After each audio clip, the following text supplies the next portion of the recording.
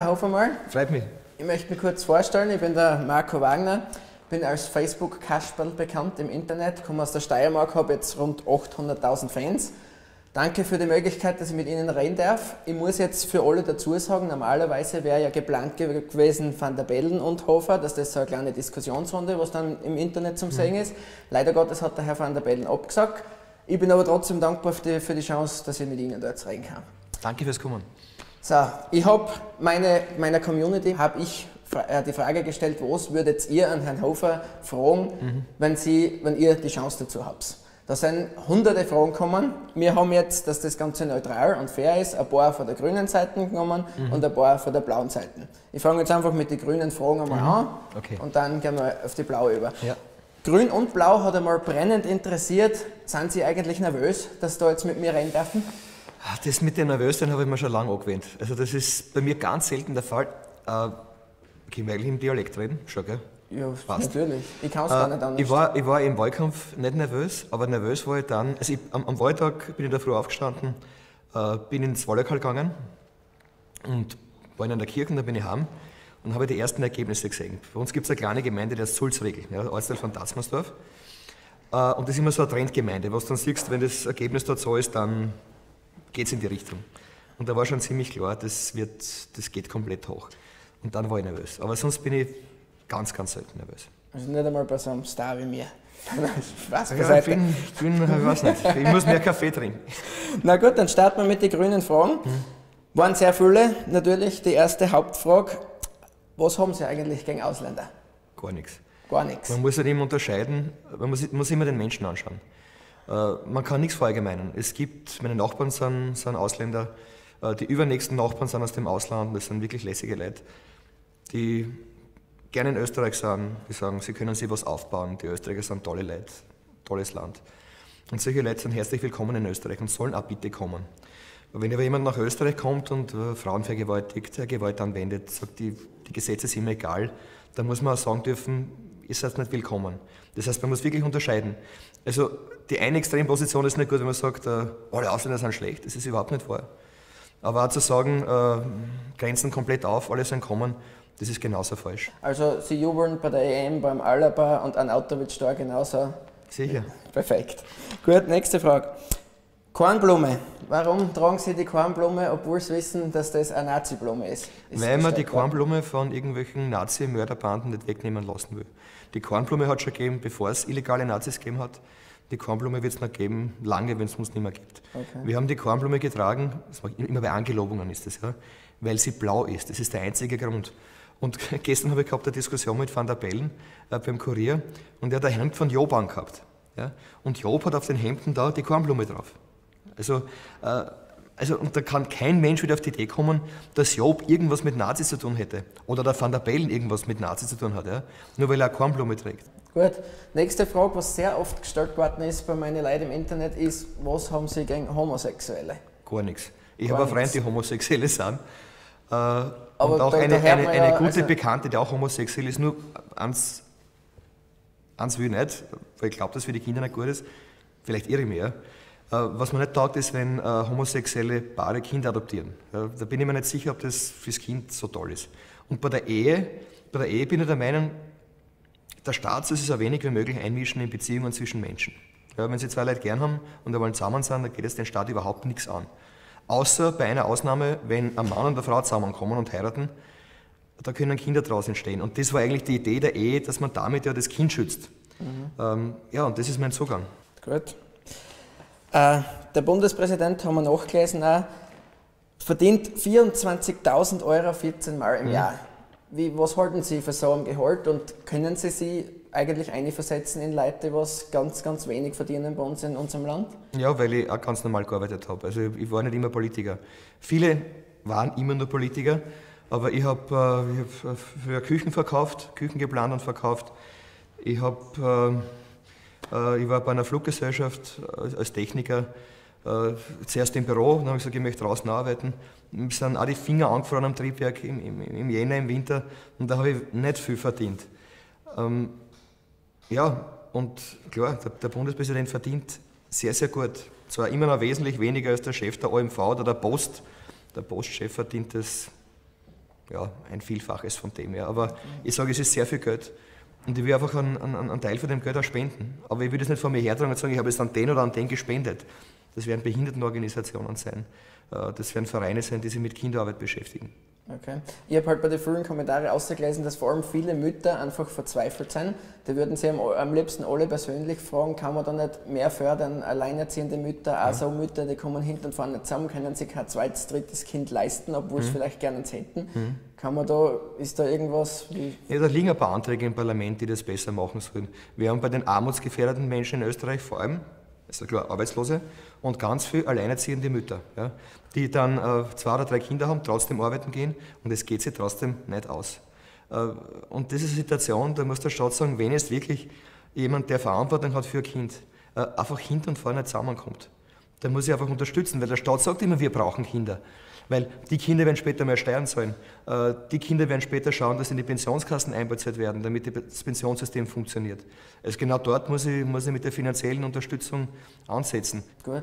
Bevor wir zur, nächsten, zur anderen Seite gehen, würde mich mal interessieren, kriegen Sie beim Hof eigentlich Prozente? was, was war das Verrückteste, was Sie in Ihrer Jugend gemacht haben? Ähm, mit elf Jahren 500er Motorradl fahren. Wobei hinten mein Bruder umgesessen ist, weil der hat längere Füße gehabt als ich. Das ist gleich äh, Mit 16 mit dem Auto ohne Führerschein von Pinkerfeld nach Eisenstadt fahren. Okay. Einmal hat mir die Polizei aufgehalten. Äh, bin ich ohne Führerschein gefahren. Und dann habe ich, ist eh alles verjährt, Gott sei Dank, das darf ich eh schon erzählen. Und dann habe ich dem Polizisten gesagt, boah, ich habe meine, meinen Führerschein vergessen. Und dann hat er mich gefragt, wie heißt er? Habe ich gesagt, Christian Hofer. Das ist mein Bruder, der ist älter als ich. Also das waren so die, die verrückten Sachen. Wobei früher, find, das wobei früher am Land das Fahren ohne Führerschein, das war nicht so schlimm. Ja? Aber das war halt einfach, weil es geht jetzt überhaupt nicht mehr, ja? weil, weil viel mehr Verkehr ist und weil einfach viel mehr passiert. Sie erzählen das jetzt offen aus. Ich finde das ja sympathisch, weil das sagt, dass Sie ein ganz normaler Mensch mhm. sind. Aber da könnten jetzt wieder viele sagen, das ist ja dann doch kein Vorbild. Und ja, aber ich möchte, möchte lieber die Wahrheit sagen, das ist mir lieber. Gut. Passt, dann kommen wir weiter. Gehen wir auf die andere Seite. Was können Sie als Bundespräsident dazu beitragen, um das Asylchaos zu stoppen? Also, Würden Sie überhaupt noch reinlassen, wenn Sie das entscheiden Also das, das, beste Modell war das, wo wir in der Europäischen Union die Verträge einhalten. Es gibt also das Schengen-Abkommen.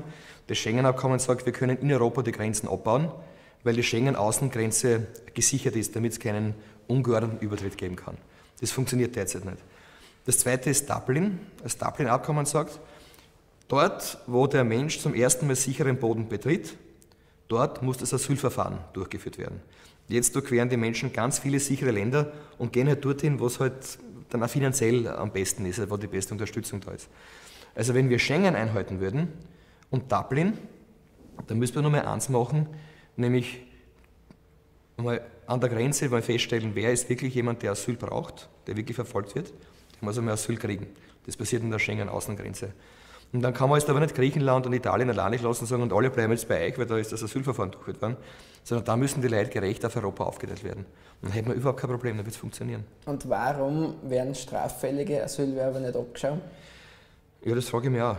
Ich meine, wenn jemand äh, sagt, er ist schutzsuchend, dann darf er nicht äh, Frauen vergewaltigen, Leiter schlagen, äh, mit Drogen dealen. Ja, das geht alles ja nicht. dann Länder, die was nicht mehr zurücknehmen? Oder wie, was macht ja, man da dann? aber da brauche ich die Rücknahmeabkommen und die meisten dieser Länder kriegen Geld, ja, auch von der Europäischen Union. Und da ist schon klar, wenn ihr unterstützt werdet, damit ihr euch besser entwickeln könnt, dann müsst ihr aber Rückübernahmeabkommen machen, damit Leute, die eigentlich bei uns nichts verloren haben, dann wieder bei euch zu sind. Das wäre nur gerecht und logisch. Okay, gut. Sehr viel Familienbeihilfegeld fließt ins Ausland. Das ärgert viele Menschen, vor allem wenn zum Beispiel nur ein Vater da arbeitet mhm. und dann das ganze Familienbeihilfegeld ins Ausland schickt. Ist das, ist das ja, normal? Kann man das da betrifft was machen? Das betrifft jetzt die, die Grenzgänger. Ne? Früher war es wirklich so, dass auch Leute, die, von, die, die äh, ganz woanders gelebt haben und dann halt ein paar Jahre in Österreich waren, äh, auch zu Hause die Familienbeihilfe gekriegt haben. Das gibt es nicht mehr. Aber was es noch gibt, ist, wenn du jetzt zum Beispiel äh, in Ungarn lebst und jeden Tag als Pendler nach Österreich fährst. Dann hast du Anspruch für deine Kinder auf die volle Familienbeihilfe und das volle äh, Kinderbetreuungsgeld, obwohl die Lebenserhaltungskosten in Ungarn ja viel niedriger sind. Und das wird gerecht aufgeteilt sein, indem ich sage, okay, in Ungarn ist der Euro so viel wert, bei uns ist er so viel wert und daher kriegst du für dein Kind in Ungarn diesen Betrag und wenn das Kind aber in Österreich lebt, es gibt ja Leute, die als Ausländer, in Österreich leben, dann ist es der volle Betrag. Ne? Und dann wäre es nur gerecht. Okay. 500.000 Arbeitslose haben wir in Österreich. Mhm. Was kann man da dagegen machen? Ja, der, der, Hauptgrund sind die hohen Steuern. Ähm, wir haben eine extrem hohe Steuerlast. Wir sind bei den OECD-Staaten am zweiten Platz. Und früher waren wir beim, beim Ranking bei den Firmen, die sich in Österreich ansiedeln wollen, relativ weit vorn. Wir verlieren jedes Jahr. Also die Betriebe wollen immer nach Österreich kommen, weil wir haben irrsinnig viel Bürokratie und wir haben hohe Steuern. Und du musst mit den Steuern runter. Und dann bin ich wieder beim Rechnungshof. Du musst die Vorschläge beim Rechnungshof abarbeiten, damit der Staat weniger Geld für die Verwaltung braucht und wir mehr Geld haben, äh, um die Steuern senken zu können. Das ist der richtige Weg. Ähm, ja, und ansonsten, der Bundespräsident kann auch viel machen. Also wenn der Bundespräsident jetzt, ich habe es schon, also aus China hat mich schon jemand kontaktiert, äh, der sagt, er möchte gerne investieren in Österreich. Also wenn du da gute Kontakte pflegst ja, und sagst, ich fahre mit einer Wirtschaftsdelegation nach China, nach Indien, äh, USA, Russland, egal wo, ja, wo es Leute gibt, die sagen, ich möchte in Österreich investieren. Ähm, oder es kriegen Firmen aus Österreich Aufträge. Dann kann der Bundespräsident mithelfen, dass da Arbeitsplätze in Österreich geschaffen werden. Und das möchte ich unbedingt machen. Okay. Gut, das wäre dann eigentlich schon die letzte Frage auf meiner Liste. Viele Leute sagen, die EU hat versagt. Was müsste da passieren, dass sie für, vielleicht für einen Austritt sein, oder kommt das gar nicht in Frage? Naja, die EU muss sich weiterentwickeln. Also was, was ich nicht will, Van der Bellen sagt immer, er möchte so einen, die Vereinigten Staaten von Europa. Die Grünen haben dann auch gesagt, sie wollen eine europäische Wirtschaftsregierung, wo das Einstimmigkeitsprinzip weg ist. Jetzt hat Österreich immer noch die Möglichkeit, bei Entscheidungen, die für uns schlecht sind, zu sagen, na, das geht nicht. Wenn wir Wirtschaftsregierung hätten, würde Wirtschaftspolitik Brüssel gemacht werden. Und wir könnten da gar nicht mehr über TTIP abstimmen, bei einer Wirtschaftsregierung. Also das möchte ich nicht. Ich, ich glaube, dass sich die EU so entwickeln muss, dass man sagt, die Dinge, die wir gemeinsam regeln müssen, regeln wir gemeinsam. Und die, die anderen Sachen, die das Land selber regeln kann, macht das Mitgliedsland. Beispiel, äh, wir haben eine europäische Traktorsitzverordnung. Ja. Da haben Beamte und Experten ewig daran gearbeitet, dass wir eine Traktorsitzverordnung kriegen. Und das ist so dick. Aber wir haben keine Sicherheitsstandards für Kernkraftwerke. Das gibt es nicht.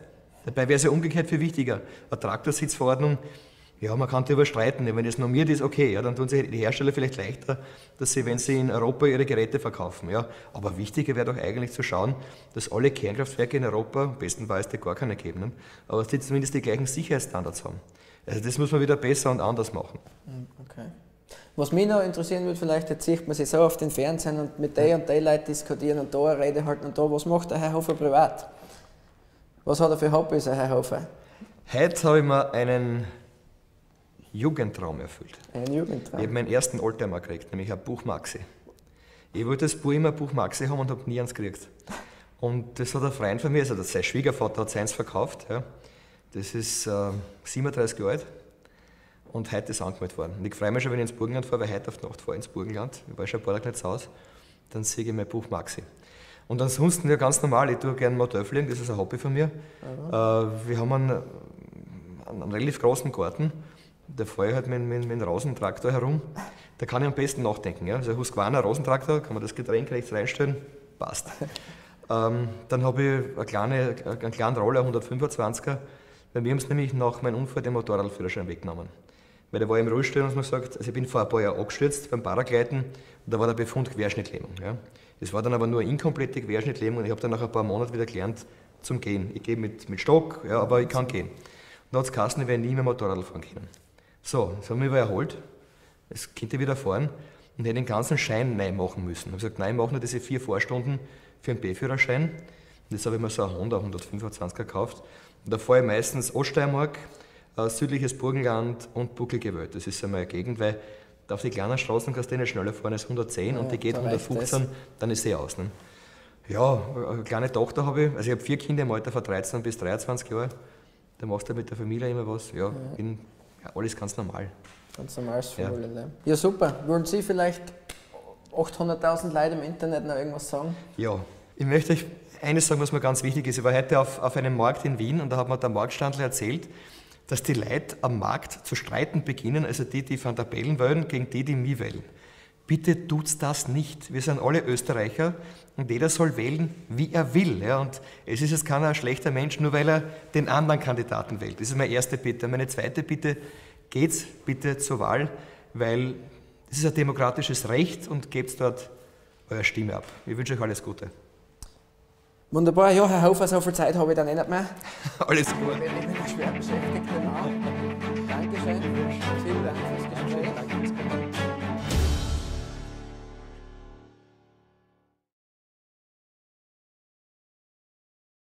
Sehr, sehr gut. Zwar immer noch wesentlich weniger als der Chef der OMV oder der Post. Der Postchef verdient das ja, ein Vielfaches von dem her. Aber ich sage, es ist sehr viel Geld. Und ich will einfach einen, einen, einen Teil von dem Geld auch spenden. Aber ich will das nicht von mir hertragen und sagen, ich habe es an den oder an den gespendet. Das werden Behindertenorganisationen sein. Äh, das werden Vereine sein, die sich mit Kinderarbeit beschäftigen. Okay. Ich habe halt bei den frühen Kommentaren ausgelesen, dass vor allem viele Mütter einfach verzweifelt sind. Die würden sie am, am liebsten alle persönlich fragen, kann man da nicht mehr fördern? Alleinerziehende Mütter, auch ja. so Mütter, die kommen hinten und vorne zusammen, können sich kein zweites, drittes Kind leisten, obwohl mhm. sie vielleicht gerne eins hätten. Mhm. Kann man da, ist da irgendwas? ja, da liegen ein paar Anträge im Parlament, die das besser machen sollen. Wir haben bei den armutsgefährdeten Menschen in Österreich vor allem ist klar, Arbeitslose und ganz viele alleinerziehende Mütter, ja, die dann äh, zwei oder drei Kinder haben, trotzdem arbeiten gehen und es geht sich trotzdem nicht aus. Äh, und diese Situation, da muss der Staat sagen, wenn jetzt wirklich jemand, der Verantwortung hat für ein Kind, äh, einfach hinten und vorne zusammenkommt, dann muss ich einfach unterstützen, weil der Staat sagt immer, wir brauchen Kinder. Weil die Kinder werden später mehr Steuern zahlen. Äh, die Kinder werden später schauen, dass in die Pensionskassen einbezahlt werden, damit das Pensionssystem funktioniert. Also genau dort muss ich, muss ich mit der finanziellen Unterstützung ansetzen. Gut. Bevor wir zur, nächsten, zur anderen Seite gehen, würde mich mal interessieren, kriegen Sie beim Hof eigentlich Prozente? was, was war das Verrückteste, was Sie in Ihrer Jugend gemacht haben? Ähm, mit elf Jahren 500er Motorradl fahren. Wobei hinten mein Bruder umgesessen ist, weil er hat längere Füße gehabt als ich. Das ist gleich äh, Mit 16 mit dem Auto ohne Führerschein von Binkerfeld nach Eisenstadt fahren. Okay. Einmal hat mir die Polizei aufgehalten. Äh, bin ich ohne Führerschein gefahren. Und dann habe ich, ist eh alles verjährt, Gott sei Dank, das darf ich eh schon erzählen. Und habe ich dem Polizisten gesagt, boah, ich habe meine, meinen Führerschein vergessen. Und dann hat er mich gefragt, wie er heißt. habe ich gesagt, Christian Hofer. Das ist mein Bruder, der ist älter als ich. Also das waren so die, die verrückten Sachen. Wobei früher, find, wobei früher am Land das Fahren ohne Führerschein, das war nicht so schlimm. Ja? Aber das war halt einfach, weil das geht jetzt überhaupt nicht mehr, ja? weil, weil viel mehr Verkehr ist und weil einfach viel mehr passiert. Sie erzählen das jetzt offen aus. Ich finde das ja sympathisch, weil das sagt, dass Sie ein ganz normaler Mensch mhm. sind. Aber da könnten jetzt wieder viele sagen, das ist ja dann doch kein Vorbild. Und ja, aber ich möchte, möchte lieber die Wahrheit sagen, das ist mir lieber. Gut. Passt, dann kommen wir weiter. Gehen wir auf die andere Seite. Was können Kinderbetreuungsgeld, obwohl die Lebenserhaltungskosten in Ungarn ja viel niedriger sind. Und das sollte gerecht aufgeteilt sein, indem ich sage, okay, in Ungarn ist der Euro so viel wert, bei uns ist er so viel wert und daher kriegst du für dein Kind in Ungarn diesen Betrag und wenn das Kind aber in Österreich lebt, es gibt ja mm, Leute, die als Ausländer in Österreich leben, dann ist es der volle Betrag ne? und dann wäre es nur gerecht. Okay. 500.000 Arbeitslose haben wir in Österreich. Mhm. Was kann man da dagegen machen? Ja, der, der, der Hauptgrund sind die hohen Steuern. Ähm, wir haben eine extrem hohe Steuerlast, wir sind bei den OECD-Staaten am zweiten Platz. Und früher waren wir beim, beim Ranking bei den Firmen, die sich in Österreich ansiedeln wollen, relativ weit vorn. Wir verlieren jedes Jahr. Also die Betriebe wollen immer nach Österreich kommen, weil wir haben irrsinnig viel Bürokratie und wir haben hohe Steuern. Und du musst mit den Steuern runter. Und dann bin ich wieder beim Rechnungshof, du musst die Vorschläge beim Rechnungshof abarbeiten, damit der Staat weniger Geld für die Verwaltung braucht und wir mehr Geld haben, äh, um die Steuern senken zu können. Das ist der richtige Weg. Ähm, ja, und ansonsten, der Bundespräsident kann auch viel machen. Also wenn der Bundespräsident jetzt, ich habe es schon, also aus China hat mich schon jemand kontaktiert, äh, der sagt, er möchte gerne investieren in Österreich. Also wenn du da gute Kontakte pflegst ja, und sagst, ich fahre mit einer Wirtschaftsdelegation nach China, nach Indien, äh, USA, Russland, egal wo, ja, wo es Leute gibt, die sagen, ich möchte in Österreich investieren. Ähm, oder es kriegen Firmen aus Österreich Aufträge, dann kann der Bundespräsident mithelfen, dass da Arbeitsplätze in Österreich geschaffen werden. Und das möchte ich unbedingt machen. Okay. Gut, das wäre dann eigentlich schon die letzte Frage auf meiner Liste. Viele Leute sagen, die EU hat versagt. Was müsste da passieren, dass sie für, vielleicht für einen Austritt sind, oder kommt das gar nicht in Frage? Naja, die EU muss sich weiterentwickeln. Also was, was ich nicht Van der Bellen sagt immer, er möchte so einen, die Vereinigten Staaten von Europa. Die Grünen haben dann auch gesagt, sie wollen eine europäische Wirtschaftsregierung, wo das Einstimmigkeitsprinzip weg ist. Jetzt hat Österreich immer noch die Möglichkeit, bei Entscheidungen, die für uns schlecht sind, zu sagen, na, das geht nicht. Wenn wir Wirtschaftsregierung hätten, würde Wirtschaftspolitik Brüssel gemacht werden. Und wir könnten ja gar nicht mehr über TTIP abstimmen, bei einer Wirtschaftsregierung. Also das möchte ich nicht. Ich, ich glaube, dass sich die EU so entwickeln muss, dass man sagt, die Dinge, die wir gemeinsam regeln müssen, regeln wir gemeinsam. Und die, die anderen Sachen, die das Land selber regeln kann, macht das Mitgliedsland. Beispiel, äh, wir haben eine europäische Traktorsitzverordnung. Ja? Da haben Beamte und Experten ewig daran gearbeitet, dass wir eine Traktorsitzverordnung kriegen. Das ist überhaupt nicht vorher. Aber auch zu sagen, äh, Grenzen komplett auf, alle sind kommen, das ist genauso falsch. Also Sie jubeln bei der EM, beim Alaba und an Autowitsch da genauso? Sicher. Perfekt. Gut, nächste Frage. Kornblume. Warum tragen Sie die Kornblume, obwohl Sie wissen, dass das eine Nazi-Blume ist? ist? Weil man die Kornblume von irgendwelchen Nazi-Mörderbanden nicht wegnehmen lassen will. Die Kornblume hat es schon gegeben, bevor es illegale Nazis gegeben hat. Die Kornblume wird es noch geben, lange, wenn es uns nicht mehr gibt. Okay. Wir haben die Kornblume getragen, immer bei Angelobungen ist das, ja, weil sie blau ist. Das ist der einzige Grund. Und gestern habe ich gehabt eine Diskussion mit Van der Bellen äh, beim Kurier und er hat ein Hemd von Job angehabt. Ja? Und Job hat auf den Hemden da die Kornblume drauf. Also, äh, also, und da kann kein Mensch wieder auf die Idee kommen, dass Job irgendwas mit Nazis zu tun hätte. Oder der Van der Bellen irgendwas mit Nazis zu tun hat. Ja? Nur weil er eine Kornblume trägt. Gut. Nächste Frage, was sehr oft gestellt worden ist bei meinen Leuten im Internet, ist, was haben Sie gegen Homosexuelle? Gar nichts. Ich habe eine Freund, die Homosexuelle sind. Äh, aber und auch eine, eine, eine, ja, gute also Bekannte, die auch homosexuell ist, nur eins, eins will ich nicht, weil ich glaube, dass für die Kinder nicht gut ist. Vielleicht irre ich mich, ja. Äh, was man nicht taugt, ist, wenn äh, homosexuelle Paare Kinder adoptieren. Ja, da bin ich mir nicht sicher, ob das fürs Kind so toll ist. Und bei der Ehe, bei der Ehe bin ich der Meinung, der Staat soll sich so wenig wie möglich einmischen in Beziehungen zwischen Menschen. Ja, wenn sie zwei Leute gern haben und wollen zusammen sein, dann geht es den Staat überhaupt nichts an. Außer bei einer Ausnahme, wenn ein Mann und eine Frau zusammenkommen und heiraten, da können Kinder draus entstehen. Und das war eigentlich die Idee der Ehe, dass man damit ja das Kind schützt. Mhm. Ähm, ja, und das ist mein Zugang. Gut. Äh, der Bundespräsident, haben wir nachgelesen, auch, verdient 24.000 Euro 14 Mal im mhm. Jahr. Wie, was halten Sie für so ein Gehalt und können Sie sich eigentlich einversetzen in Leute, die was ganz, ganz wenig verdienen bei uns in unserem Land? Ja, weil ich auch ganz normal gearbeitet habe. Also ich war nicht immer Politiker. Viele waren immer nur Politiker, aber ich habe äh, hab für Küchen verkauft, Küchen geplant und verkauft. Ich, hab, äh, äh, ich war bei einer Fluggesellschaft äh, als Techniker, äh, zuerst im Büro, dann habe ich gesagt, ich möchte draußen arbeiten. Mir sind auch die Finger angefroren am Triebwerk im, im, im Jänner, im Winter und da habe ich nicht viel verdient. Ähm, ja, und klar, der, der Bundespräsident verdient. Sie als Bundespräsident dazu beitragen, um das Asylchaos zu stoppen? Also, Würden Sie überhaupt noch reinlassen, wenn Sie das entscheiden Also das, das, beste Modell war das, wo wir in der Europäischen Union die Verträge einhalten. Es gibt also das Schengen-Abkommen. Das Schengen-Abkommen sagt, wir können in Europa die Grenzen abbauen, weil die Schengen-Außengrenze gesichert ist, damit es keinen ungeordneten Übertritt geben kann. Das funktioniert derzeit nicht. Das zweite ist Dublin. Das Dublin-Abkommen sagt, dort, wo der Mensch zum ersten Mal sicheren Boden betritt, dort muss das Asylverfahren durchgeführt werden. Jetzt durchqueren die Menschen ganz viele sichere Länder und gehen halt dorthin, wo es halt dann auch finanziell am besten ist, wo die beste Unterstützung da ist. Also wenn wir Schengen einhalten würden und Dublin, dann müssen wir nur mal eins machen, nämlich mal an der Grenze mal feststellen, wer ist wirklich jemand, der Asyl braucht, der wirklich verfolgt wird muss einmal Asyl kriegen. Das passiert in der Schengen-Außengrenze. Und dann kann man jetzt aber nicht Griechenland und Italien alleine lassen und sagen, und alle bleiben jetzt bei euch, weil da ist das Asylverfahren durchgeführt worden, sondern da müssen die Leute gerecht auf Europa aufgeteilt werden. Und dann hätten wir überhaupt kein Problem, dann wird es funktionieren. Und warum werden straffällige Asylwerber nicht abgeschaut? Ja, das frage ich mich auch. Ich meine, wenn jemand sagt, er ist schutzsuchend, dann darf er nicht äh, Frauen vergewaltigen, Leiter schlagen, äh, mit Drogen dealen, ja, das geht alles ja nicht. dann Länder, die was nicht mehr zurücknehmen oder wie, was macht ja, man da dann? aber da brauche ich die Rücknahmeabkommen und die meisten dieser Länder kriegen Geld, ja, auch von der Europäischen Union.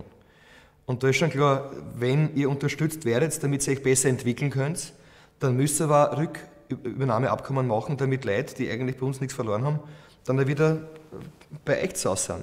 Das wäre nur gerecht und logisch. Okay, gut. Sehr viel Familienbeihilfegeld fließt ins Ausland. Das ärgert viele Menschen, vor allem wenn zum Beispiel nur ein Vater da arbeitet mhm. und dann das ganze Familienbeihilfegeld ins Ausland schickt. Ist das, ist das ja, normal? Kann man das, da betrifft was machen? Das betrifft jetzt die, die Grenzgänger. Ne? Früher war es wirklich so, dass auch Leute, die, von, die, die äh, ganz woanders gelebt haben und dann halt ein paar Jahre in Österreich waren, äh, auch zu Hause die Familienbeihilfe gekriegt haben. Das gibt es nicht mehr. Aber was es noch gibt, ist, wenn du jetzt zum Beispiel äh, in Ungarn lebst und jeden Tag als Pendler nach Österreich fährst, dann hast du Anspruch für deine Kinder auf die volle Familienbeihilfe und das volle. Äh ja, grüß Gott, Herr Hofermal. Freut mich. Ich möchte mich kurz vorstellen, ich bin der Marco Wagner, bin als Facebook-Kasperl bekannt im Internet, komme aus der Steiermark, habe jetzt rund 800.000 Fans. Danke für die Möglichkeit, dass ich mit Ihnen reden darf. Ich muss jetzt für alle dazu sagen, normalerweise wäre ja geplant gewesen Van der Bellen und Hofer, dass das so eine kleine Diskussionsrunde, was dann im Internet zum Sehen mhm. ist. Leider Gottes hat der Herr Van der Bellen abgesagt. Ich bin aber trotzdem dankbar für die, für die Chance, dass ich mit Ihnen dort reden kann. Danke fürs Kommen. So, ich habe meine, meiner Community habe ich äh, die Frage gestellt, was würdet ihr an Herrn Hofer fragen, mhm. wenn, Sie, wenn ihr die Chance dazu habt? Da sind hunderte Fragen gekommen. Wir haben jetzt, dass das Ganze neutral und fair ist, ein paar von der grünen Seite genommen mhm. und ein paar von der blauen Seite. Ich fange jetzt einfach mit den grünen Fragen einmal mhm. an okay. und dann gehen wir auf die blaue über. Ja. Grün und Blau hat einmal brennend interessiert. Sind Sie eigentlich nervös, dass Sie da jetzt mit mir rein dürfen? Ah, das mit dem Nervössein habe ich mir schon lange angewöhnt. Also das ist bei mir ganz selten der Fall.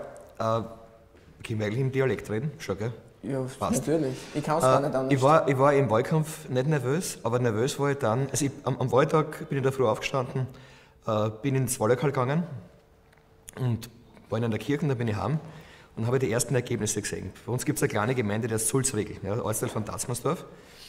Äh, und das ist immer so eine Trendgemeinde. Was du dann siehst, wenn das Ergebnis dort so ist, dann geht es in die Richtung. Und da war schon ziemlich klar, das, wird, das geht komplett hoch. Und dann war ich nervös. Aber sonst bin ich Ganz, ganz selten nervös. Also nicht einmal bei so einem Star wie mir. Spaß ja, ich bin, bin, ich weiß nicht, ich muss mehr Kaffee trinken. Na gut, dann starten wir mit den grünen Fragen. Hm. Waren sehr viele, natürlich. Die erste Hauptfrage, was haben Sie eigentlich gegen Ausländer? Gar nichts. Gar nichts. Man muss halt immer unterscheiden, man muss, muss immer den Menschen anschauen. Äh, man kann nichts verallgemeinern. Es gibt, meine Nachbarn sind, sind Ausländer, äh, die übernächsten Nachbarn sind aus dem Ausland, das sind wirklich lässige Leute, die gerne in Österreich sind, die sagen, sie können sich was aufbauen. Die Österreicher sind tolle Leute, tolles Land. Und solche Leute sind herzlich willkommen in Österreich und sollen auch bitte kommen. Wenn aber jemand nach Österreich kommt und äh, Frauen vergewaltigt, Gewalt anwendet, sagt, die, die Gesetze sind mir egal, dann muss man auch sagen dürfen, ihr seid nicht willkommen. Das heißt, man muss wirklich unterscheiden. Also die eine Extremposition ist nicht gut, wenn man sagt, äh, alle Ausländer sind. Und das sollte gerecht aufgeteilt sein. Wenn ich sage, okay, in Ungarn ist der Euro so viel wert, bei uns ist er so viel wert, und daher kriegst du für dein Kind in Ungarn diesen Betrag.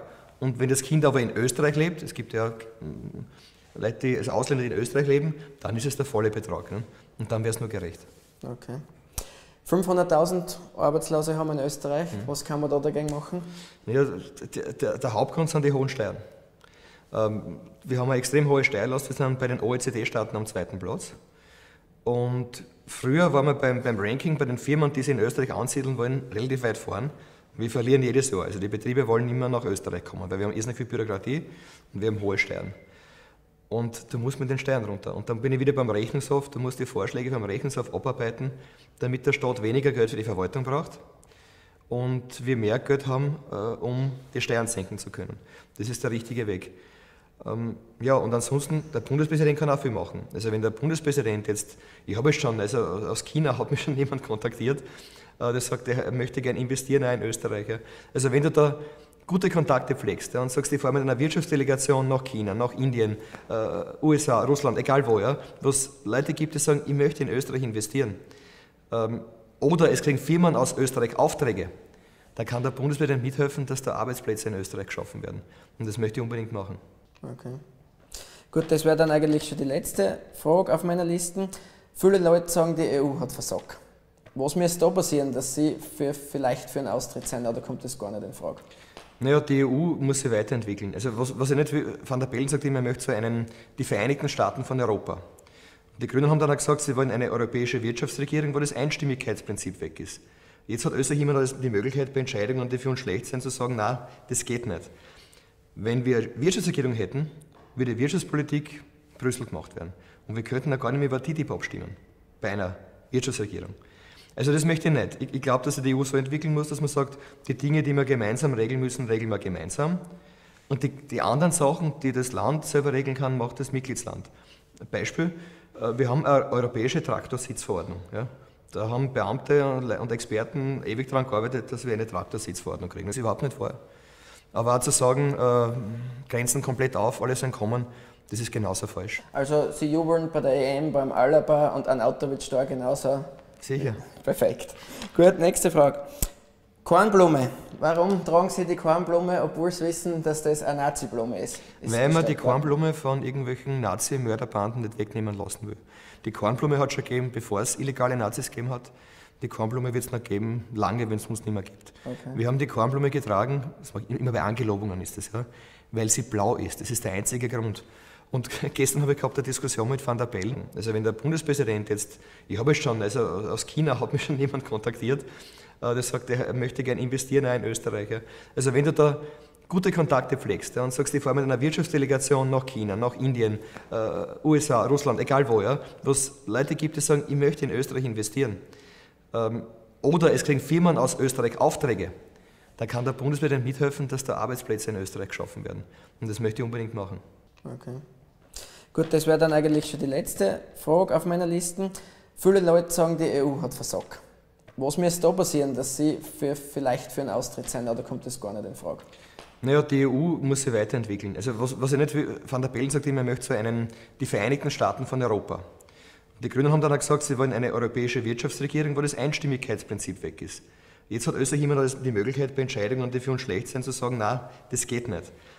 Wenn wir Wirtschaftsregierung hätten, würde Wirtschaftspolitik Brüssel gemacht werden. Und wir könnten da gar nicht mehr über TTIP abstimmen, bei einer Wirtschaftsregierung.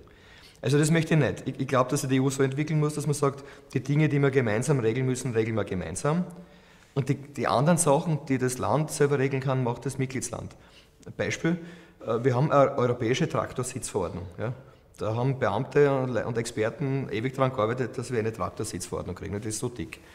Aber wir haben keine Sicherheitsstandards für Kernkraftwerke. Das gibt es nicht. Dabei wäre es ja umgekehrt viel wichtiger. Eine Traktorsitzverordnung, ja, man kann darüber streiten. Wenn es normiert ist, okay, ja, dann tun sich die Hersteller vielleicht leichter, dass sie, wenn sie in Europa ihre Geräte verkaufen. Ja. Aber wichtiger wäre doch eigentlich zu schauen, dass alle Kernkraftwerke in Europa, am besten weiß gar keine geben, aber dass die zumindest die gleichen Sicherheitsstandards haben. Also das muss man wieder besser und anders machen. Hm, okay. Was mich noch interessieren würde, vielleicht jetzt sieht man sich so auf den Fernsehen und mit der und der Leuten diskutieren und da eine Rede halten und da, was macht der Herr Hofer privat? Was hat er für Hobbys, Herr Hofer? Heute habe ich mir einen Jugendtraum erfüllt. Einen Jugendtraum? Ich habe meinen ersten Oldtimer gekriegt, nämlich ein Buch Maxi. Ich wollte das Buch immer Buch Maxi haben und habe nie eins gekriegt.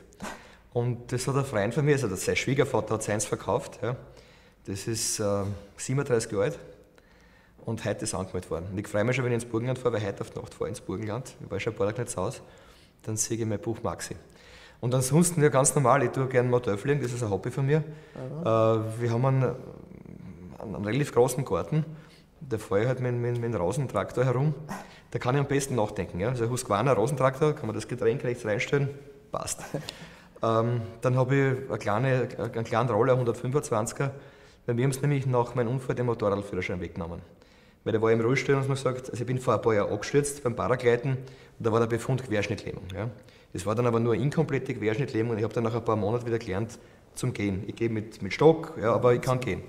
Und dann hat es ähm, mit elf Jahren 500er Motorradl fahren. Mit elf? Wobei hinten mein Bruder umgesessen ist, weil er hat längere Füße gehabt als ich. Das ist gleich äh, Mit 16 mit dem Auto ohne Führerschein von Pinkerfeld nach Eisenstadt fahren. Okay. Einmal hat mir die Polizei aufgehalten. Äh, bin ich auch ohne Führerschein gefahren. Und dann habe ich, ist eh alles verjährt, Gott sei Dank, das darf ich eh schon erzählen.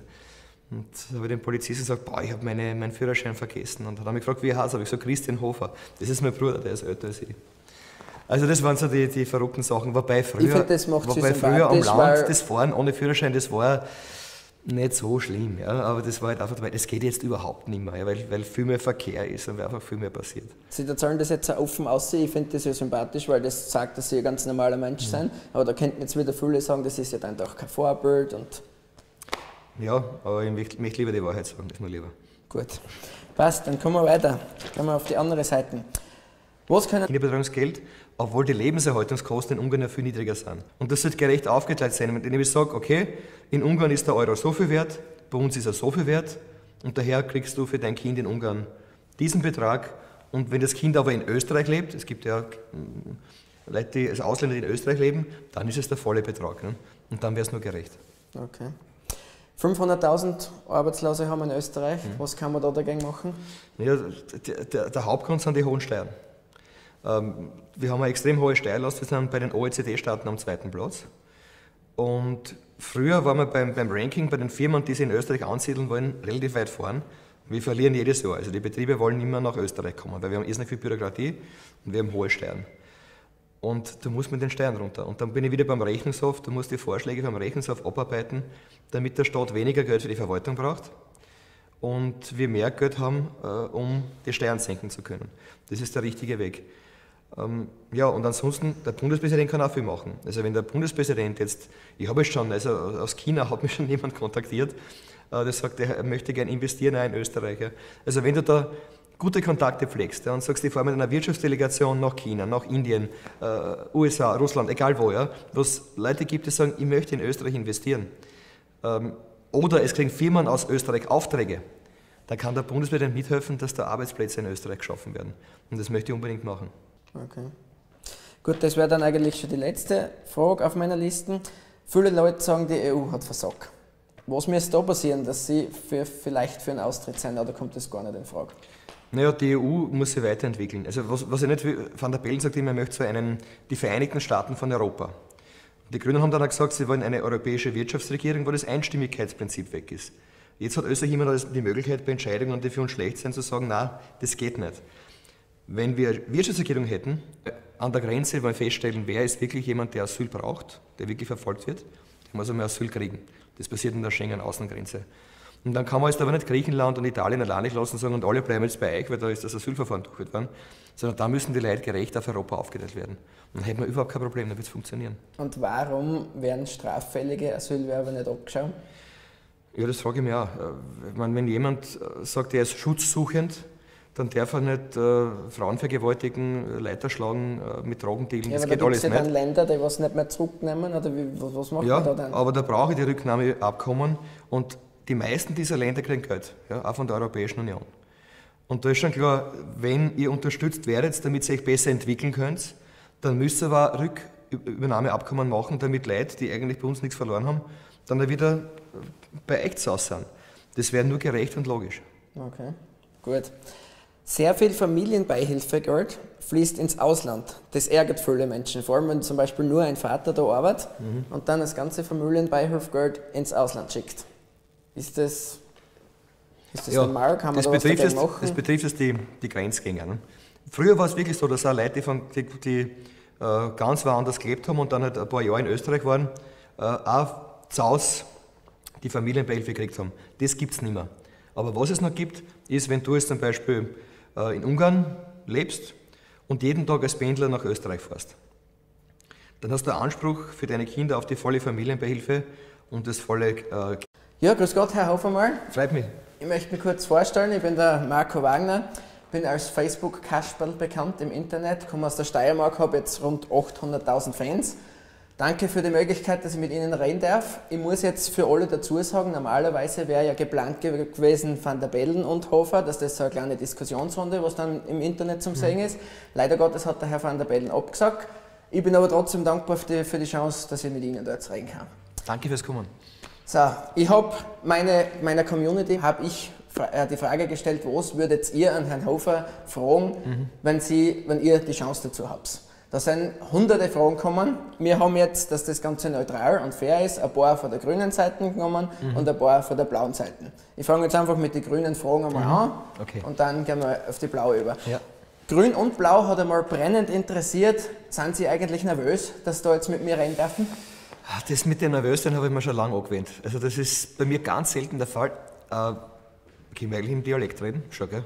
Ja, Passt. natürlich. Ich kann es äh, gar nicht anders. Ich war, ich war im Wahlkampf nicht nervös, aber nervös war ich dann. Also ich, am, am, Wahltag bin ich da früh aufgestanden, äh, bin ins Wahllokal gegangen und war in einer Kirche, und da bin ich heim und habe die ersten Ergebnisse gesehen. Bei uns gibt es eine kleine Gemeinde, die heißt Sulzregel, ja, Ortsteil von Tatzmersdorf. Äh, und das ist immer so zusammen sind, da geht es den Staat überhaupt nichts an. Außer bei einer Ausnahme, wenn ein Mann und eine Frau zusammenkommen und heiraten, da können Kinder draußen stehen. Und das war eigentlich die Idee der Ehe, dass man damit ja das Kind schützt. Mhm. Ähm, ja, und das ist mein Zugang. Gut. Äh, der Bundespräsident, haben wir nachgelesen, auch, verdient 24.000 Euro 14 Mal im mhm. Jahr. Wie, was halten Sie für so ein Gehalt und können Sie sich eigentlich einversetzen in Leute, die was ganz, ganz wenig verdienen bei uns in unserem Land? Ja, weil ich auch ganz normal gearbeitet habe. Also ich war nicht immer Politiker. Viele waren immer nur Politiker, aber ich habe äh, hab für Küchen verkauft, Küchen geplant und verkauft. Ich, hab, äh, äh, ich war bei einer Fluggesellschaft als Techniker, äh, zuerst im Büro, dann habe ich gesagt, ich möchte draußen arbeiten. Mir sind auch die Finger angefroren am Triebwerk im, im, im Jänner, im Winter und da habe ich nicht viel verdient. Ähm, ja, und klar, der, der, Bundespräsident verdient sehr, sehr gut. Zwar immer noch wesentlich weniger als der Chef der OMV oder der Post. Der Postchef verdient das ja, ein Vielfaches von dem her. Aber ich sage, es ist sehr viel Geld. Und ich will einfach einen, einen, einen Teil von dem Geld auch spenden. Aber ich will das nicht von mir hertragen und sagen, ich habe es an den oder an den gespendet. Das werden Behindertenorganisationen sein. Äh, das werden Vereine sein, die sich mit Kinderarbeit beschäftigen. Okay. Ich habe halt bei den frühen Kommentaren ausgelesen, dass vor allem viele Mütter einfach verzweifelt sind.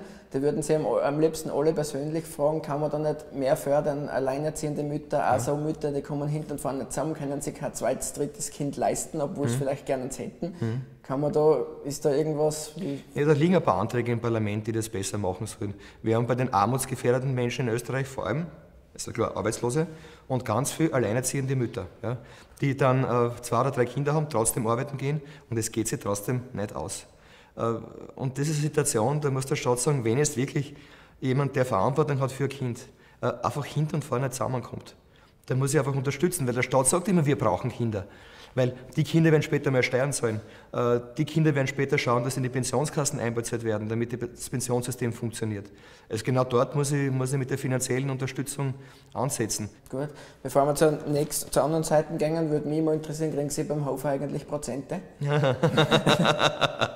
was, was war das Verrückteste, was Sie in Ihrer Jugend gemacht haben? Ähm, mit elf Jahren 500er Motorradl fahren. Wobei hinten mein Bruder umgesessen ist, weil der hat längere Füße gehabt als ich. Das ist gleich äh, Mit 16 mit dem Auto ohne Führerschein von Pinkerfeld nach Eisenstadt fahren. Okay. Einmal hat mir die Polizei aufgehalten. Äh, da bin ich auch ohne Führerschein gefahren. Und dann habe ich, ist eh alles verjährt, Gott sei Dank, das darf ich eh schon erzählen. Und da habe ich dem Polizisten gesagt, boah, ich habe meine, meinen Führerschein vergessen. Und dann hat er mich gefragt, wie er heißt. habe ich gesagt, Christian Hofer. Das ist mein Bruder, der ist älter als ich.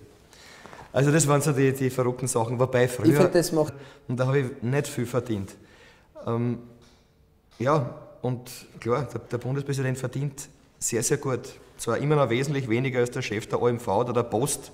Der Postchef verdient das ja, ein Vielfaches von dem her. Aber ich sage, es ist sehr viel Geld. Und ich will einfach einen, einen, einen, Teil von dem Geld auch spenden. Aber ich will das nicht von mir hertragen und sagen, ich habe es an den oder an den gespendet. Das werden Behindertenorganisationen sein. Äh, das werden Vereine sein, die sich mit Kinderarbeit beschäftigen. Okay. Ich habe halt bei den frühen Kommentaren ausgelesen, dass vor allem viele Mütter einfach verzweifelt sind. Die würden sie am, am liebsten alle persönlich fragen, kann man da nicht mehr fördern? Alleinerziehende Mütter, auch ja. so Mütter, die kommen hinten und vorne zusammen, können sich kein zweites, drittes Kind leisten, obwohl mhm. sie vielleicht gerne eins hätten. Mhm. Kann man da, ist da irgendwas? ja, da liegen ein paar Anträge im Parlament, die das besser machen sollen. Wir haben bei den armutsgefährdeten Menschen in Österreich vor allem also klar, Arbeitslose und ganz viele alleinerziehende Mütter, ja, die dann äh, zwei oder drei Kinder haben, trotzdem arbeiten gehen und es geht sie trotzdem nicht aus. Äh, und diese Situation, da muss der Staat sagen, wenn es wirklich jemand, der Verantwortung hat für ein Kind, äh, einfach hinten und vorne zusammenkommt, dann muss ich einfach unterstützen, weil der Staat sagt immer, wir brauchen Kinder. Weil die Kinder werden später mehr Steuern zahlen. Äh, die Kinder werden später schauen, dass in die Pensionskassen einbezahlt werden, damit das Pensionssystem funktioniert. Also genau dort muss ich, muss ich mit der finanziellen Unterstützung ansetzen. Gut. Bevor wir zur, nächsten, zur anderen Seite gehen, würde mich mal interessieren, kriegen Sie beim Hof eigentlich Prozente? was, was war das Verrückteste, was Sie in Ihrer Jugend gemacht haben? Ähm, mit elf Jahren 500er Motorradl fahren. Bei hinten mein Bruder umgesessen ist, weil der hat längere Füße gehabt als ich. Das ist gleich äh, Mit 16 mit dem Auto ohne Führerschein von Pinkerfeld nach Eisenstadt fahren. Okay. Einmal hat mir die Polizei aufgehalten. Äh, da bin ich auch ohne Führerschein gefahren. Und dann habe ich, ist eh alles verjährt, Gott sei Dank, das darf ich eh schon erzählen.